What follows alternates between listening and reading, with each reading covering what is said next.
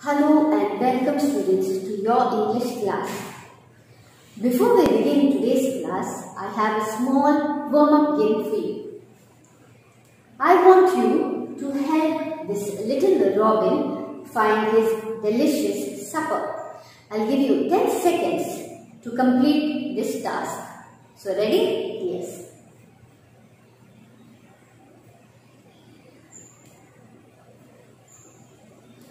Okay, I think you are done.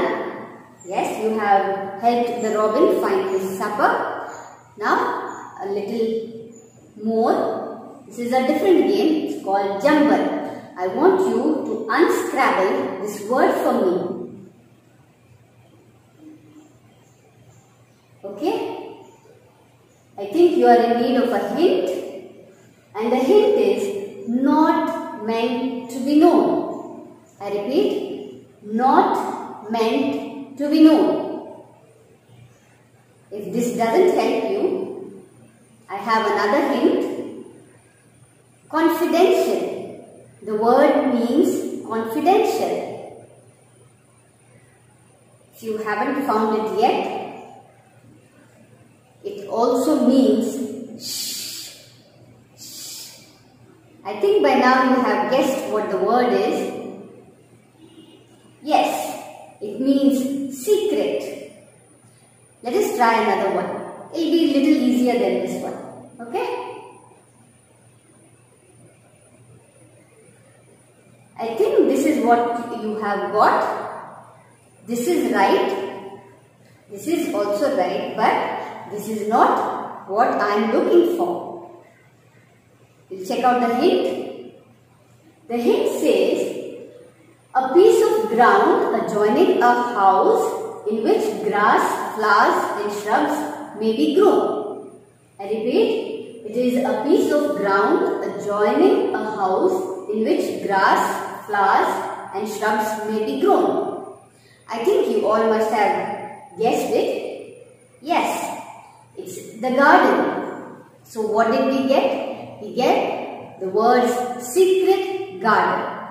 Yes, my dear children, today our lesson is The Secret Garden by Frances H. Burnett. A little introduction to the author, Frances she was born on 24th November 1849. She was a British American novelist and a playwright. Why two nationalities? Well, she was born British but she spent most of her life in America. She is best known for her children novels which includes The Secret Garden. So now a brief introduction to the story The Secret Garden. The story is about a small 10-year-old girl called Mary Lennox. Well, she was not a very fortunate child because she lost her parents at a very young age. She was born in India, but later her uncle took her back to Yorkshire, England. In England, she had heard about the stories of a secret garden where this garden is surrounded by walls and no one has entered this garden for the past 10 years. Now will she find this garden or will she not? And who will help her in this adventure of hers is what we will find out through this lesson, The Secret Garden. I request you to turn to page number 84. Mary heard a chirp and a twitter and when she looked at the bare flower garden bed at her left side there was a robin hopping about. So this is a robin. This is a picture of a robin. A robin is a small migratory songbird. It looks very beautiful, no? With the orange color chest. You do remember me, she cried out. You do. You are prettier than anything else in the world. The robin allowed her to draw closer and closer to him and bend down and talk and try to make small, try to make something like robin sounds. As the robin hopped about, she saw him hop over a small pile of freshly turned up earth. He stopped on it to look for a worm. The earth had been dug up by a dog who had made quite a deep hole. What does Mary say here? She says, You do remember me, she cried out. You are prettier than anything else in the world. Now whom does Mary refer to? Yes, she refers to the robin. She says that it is the prettiest thing that she has seen in the world. He, the robin does look very pretty. The robin allowed her to draw closer and closer to him and bend down and talk and try to make something like robin sounds. Now this paragraph tells us about the relationship between the robin and Mary. It is quite usual for a human being to be so friendly with a bird. If you look around us, the birds fly away the moment they see humans. They are very scared of us. But in this case, it was a rare friendship, a rare bond where the robin let Mary come very close to him. She had to bend down and she could speak to him. So that was the bond, the friendship and the relationship they shared together. It was a very unusual friendship. Here, bare flower bed means patch of garden without any plants or flowers. Turned up means dug up. As the robin hopped about, she saw him hop over a small pile of freshly turned up earth. He stopped on it to look for a worm. The earth had been dug up by a dog who had made quite a deep hole. Here, the robin draws Mary's attention to a hole that was dug up by a dog. And this robin stopped over that freshly dug up earth and was looking for a worm. That is his food. Now, what does Mary see on, uh, in this hole is what we will find out. Mary looked at it and saw something buried in the soil. It was something like a ring of rusty iron or brass and when the robin flew up into a tree nearby, she put out her hand and picked the ring up. It was an old key which looked as if it had been buried a long time. Mary stood up and looked at it with an almost frightened face as it hung from her finger. Perhaps it has been buried for ten years, she said in a whisper. Perhaps it is the key to the garden. She looked at the key quite a long time. She thought that if it was the key to the garden, to the closed garden, and she could find out where the door was, she could open it and see what was inside the walls. She put the key in her pocket and went back home. Now, as the robin drew Mary's attention to the hole, what did Mary see? She could see that something was buried in the soil. What was it looking like? It was looking like a rusty iron or brass. What do you mean by iron or brass? Iron or brass is a uh, metal, kind of a metal. It was a ring. See, I have a ring with a key here, but it is not rusty. So this is the ring and if it is rusty, um, it is all brownish in color. So it is the ring with a key. This is what Mary sees in the hole.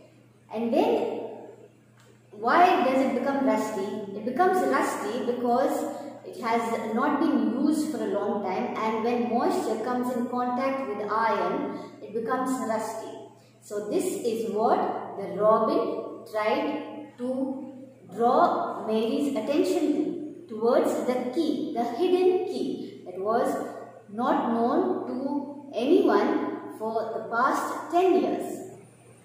Mary stood up and looked at it with an almost frightened face. She found the key And when she found the key, she had a frightened face. Why was it so? Why did she feel scared looking at the old rusty key? Then she says to herself that it could be the key to the secret garden. But why did she have to feel scared?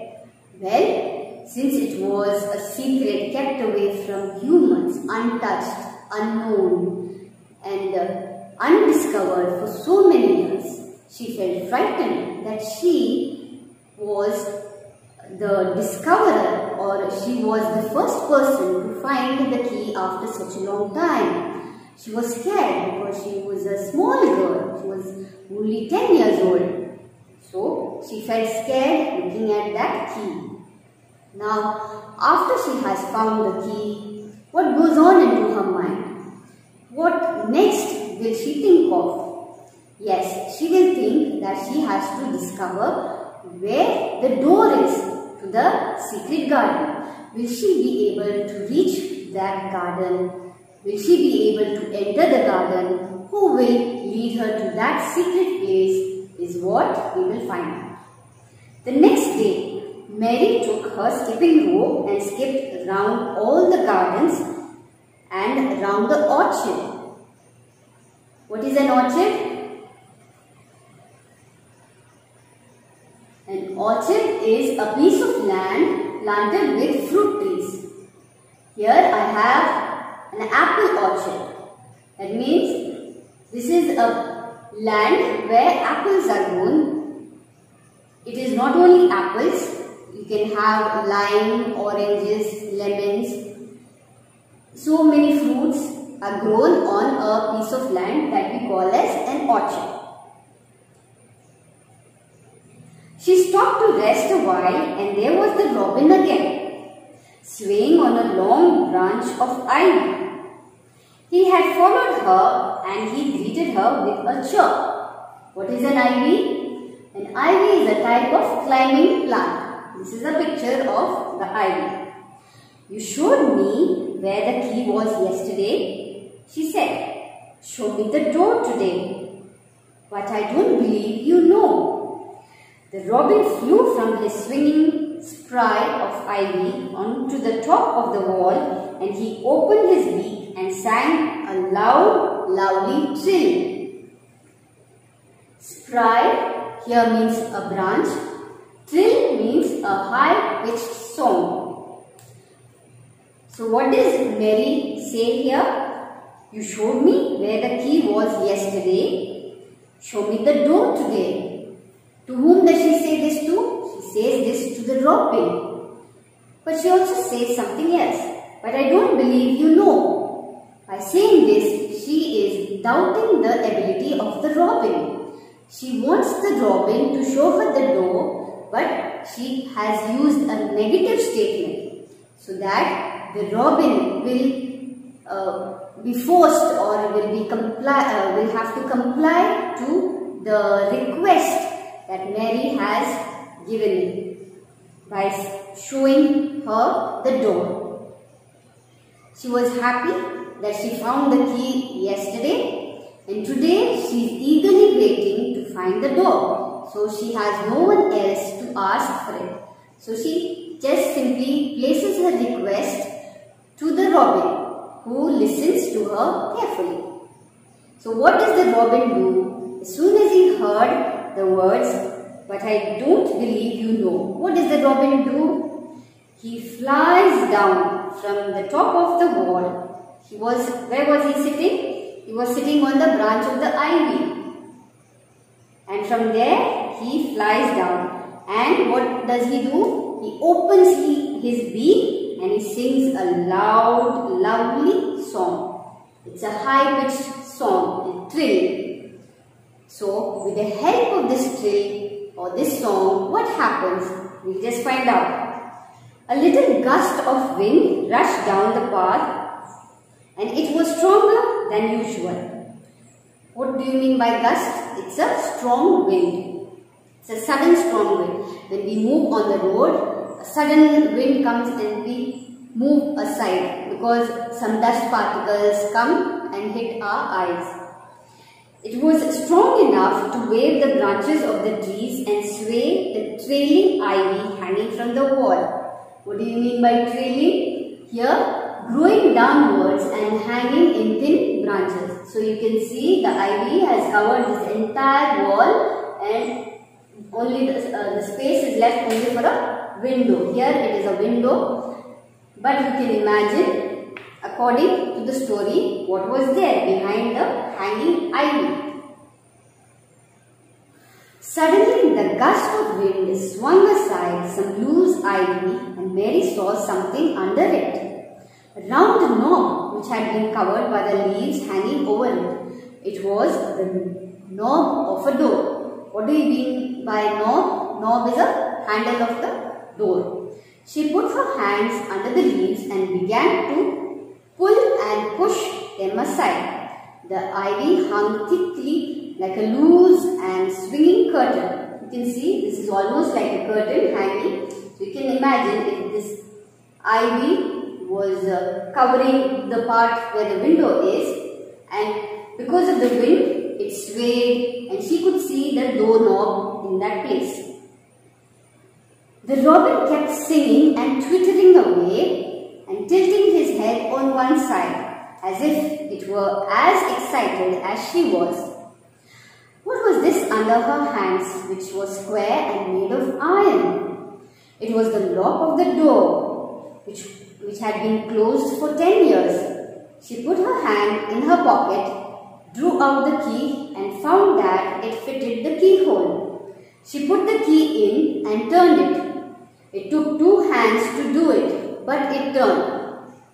And then she took a long breath and looked behind her up the long walk to see if anyone was coming. No one was coming. No one ever did come, it seemed.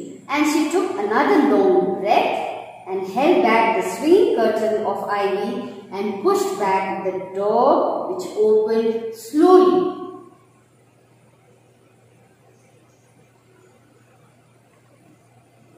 Now as soon as she found the doorknob, her heart started to beat rapidly, that is thump. When does your heart beat rapidly? Uh, mostly when uh, our teacher gives the answer script after the examination when your teacher gives you the answer script your heart also beats rapidly you can hear your own heartbeat dub dub dub dub because you are scared, you are frightened. Same situation Mary is feeling. So Mary's heart began to thump and her hands began to shake a little. It was trembling. When you are receiving your answer script from your teacher also your hands tremble because you are scared. What will be the result? In her delight and excitement. Delight here means great pleasure. Excitement means eager. So, she was eager. She was eager to know that she has found the door. And delight is, it brings her a pleasure that she has discovered this secret door. So what does the robin keep doing? The robin keeps singing. And he keeps singing and he's as excited as her that she has found the door to the secret garden which was closed for past 10 years. Then after she has found the door, she finds the keyhole and she puts the key and turns the key. Then what happens? Before entering the door, she looks back to see if anyone was coming. Why does she do this? As you know that it is a secret place which has not been discovered or which has not been uh, seen by any public for the past seven years. So she was taking all her precaution because she is a small child and it is not her parents' home, it is her uncle's home. And if anything goes wrong, she has no parents to support her or look after her. So that is why she was very careful before entering the garden. to see if anyone was following her or if she was being watched by somebody unknown. So these were the precautions she took before entering the secret garden. And now what will happen after she enters the garden? Does she see a beautiful garden or is it a mysterious garden? All this we will know only in the next video. Until then, we will keep the uh, we will keep the excitement going. So, for your assignment, you have to write a paragraph of about 100 words describing how you kept a secret. So, till then, take care and keep safe.